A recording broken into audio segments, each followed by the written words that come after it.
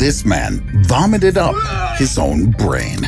After this, he developed a fungal infection and eventually moved to Chile. He's a legend in the world of neuroscience, and his name can still be found in modern medical textbooks. Meet Phineas Gage.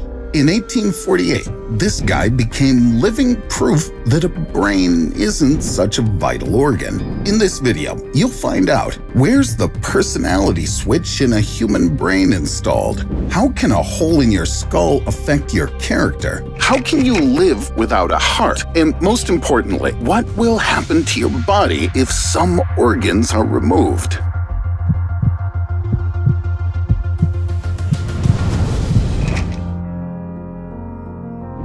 In the evening of September the 13th, 1848, Dr. John Harlow was called away on an emergency. A young man was suffering from a severe head injury, but when Harlow entered the hospital room, he wasn't prepared to see what he saw. Both the patient and the bed he was lying on were blood soaked, and it was hard not to notice an open wound on the top left of the man's skull. The patient, however, was conscious and even greeted the doc. That was Phineas Gage. Harlow's assistant, Dr. Williams, said that the patient had been vomiting blood and his brain. While Gage had been throwing up, around a teacup of his brain matter had simply leaked out through the wound. Dr. Harlow cleaned it by removing bone fragments, coagulated blood, and around 30 grams of brain matter. After this, Gage was still alive. Despite having a hole in his head, he could speak and knew exactly who he was and what was going on around him. But how did Gage get injured in the first place? Gage told Dr. Harlow that he worked with explosives. He was part of a crew whose task was to blast rock out of the way for new railroad tracks to be laid down. To do that, he drilled a hole in the rock, then packed it with blasting powder and sand, and then used an iron bar to tamp it down. But something went wrong that day, and the powder inside the rock detonated sooner than planned.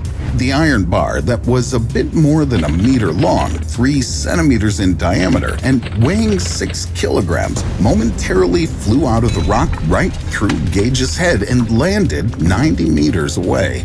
The bar penetrated the man's left cheek, shot behind his eye socket, and out of the top of his skull. This left an exit wound in Gage's head. As a result, about 7% of his brain matter was damaged. But that was just the beginning. On the 12th day after the tragic accident, Gage's condition suddenly worsened. He slipped into a coma Dr. Harlow noticed that his left eye became more protuberant, which looked very strange. After a while, there appeared fungi sprouting out from his wounded brain. The patient developed a cerebral abscess that was only growing in size. When Dr. Harlow laid his skull open, another 250 milliliters of pus and blood was immediately discharged. To prevent the further spread of infection, the doc had to remove some other brain tissues. In total, approximately 11% of Gage's white matter and 4% of his gray matter were destroyed. Despite all this, a week later, Gage succeeded in raising himself up and even tried to walk. But can you really return to a normal life after surviving such a horrible injury? In 2012, a research team created a 3D model of Gage's skull trauma. They found out that the iron bar damaged the man's left frontal cortex. As we know today, the frontal lobes observe decision making and executive control and regulate emotions. And Gage's personality traits truly changed. He became rude and short tempered. He couldn't restrain himself anymore. He started using obscene words way too often and forgot how to plan his next moves. Dr. Harlow concluded that he'd found the part of the brain containing the essence of the human personality. He even decided to publish his observations, but they were a bit of a stretch. Phineas Gage did change, but only temporarily. When he fully regained his physical strength, he got his former character back as well. It's all about brain plasticity, thanks to which our brain can move functions from a damaged area to other parts of the central nervous system. So, if an iron bar drills through your frontal lobe, it doesn't mean you'll instantly start cursing more than you normally do. By the way, the bar was also the thing that saved Gage's life. Yes, I know it made a giant hole in his head, but since the bar was sharp and not blunt, it didn't shatter the skull, but went through it quickly and smoothly. Phineas Gage was released from the hospital 10 weeks after the accident. He recovered incredibly quickly. However, something in his life actually changed for good. Gage decided to start with a clean slate and moved to Chile to work as a stagecoach driver. Do you think it was his trauma that prompted him to relocate? And what would you do if you happened to lose one sixth of your brain? Some parts of our bodies are not only unnecessary, they can also cause problems. And the thing is, we got them at a particular stage of evolution when they were still helpful. But now these body parts are just as useful as the long-haired one in the black-eyed peas. And it's all because of our modern eating habits. For example, wisdom teeth. When they start cutting through, the pain makes you want to grab hold of the nearest sharp object and get rid of them. And above all, this suffering is meaningless. Our diet has long shifted to soft food, and people no longer need powerful jaws. Over time, they've shrunk, and the wisdom teeth struggle to get squeezed into the tooth row, like Beijing residents into a subway car. What's the first thing that comes to your mind when you fall on your back? Well, the second one after I hope my iPhone's not in my back pocket right now. It's undoubtedly, please don't let it be my tailbone. A tailbone is the fused vertebrae of a tail, long lost in our evolutionary history. Now, its only task is to painfully remind you in every accidental fall that you are nothing but a monkey's descendant. What about an auricle? How much money did it take to decorate this worthless piece of flesh with earrings and piercings for it to make at least any sense? This part of the ear is controlled by special auricular muscles. Other mammals use them to detect prey and predators. But people lost the ability to use those muscles. That's why when we get a job with a smiling company's CEO, we can't identify that the boss will make our lives a living hell in the future. And what about Mr. Appendix? What could this guy possibly do except inflict pain and tear itself apart? Many years ago, an appendix might have helped people digest fiber-rich plants, but today it's not part of the human digestive system. So the conclusion is obvious. We've got to fire you, mister. And the appendix is not the only organ that Mother Nature is long overdue in disposing of. So what organs can we live without? If you tell your spleen you want to say goodbye to it, it'll start assuring you that you won't find a replacement. But you will. Your bone marrow can easily replace it.